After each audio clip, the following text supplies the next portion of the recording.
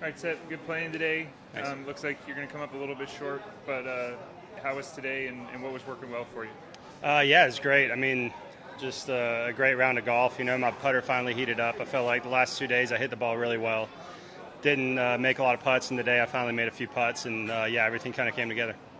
Um, what what does this do for you? I mean, obviously not an official event, but does this give you confidence looking ahead to 2024?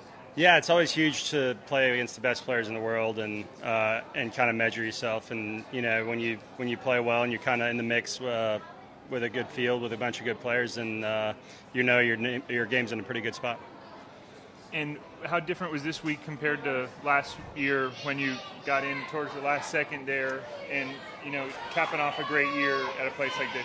Uh, yeah, was definitely a little different. Um, Jordan's out here throwing stuff to the kids.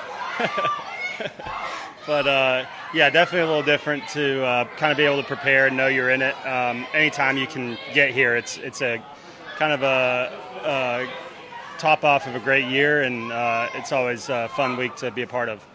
Thank you. Awesome. Thank you.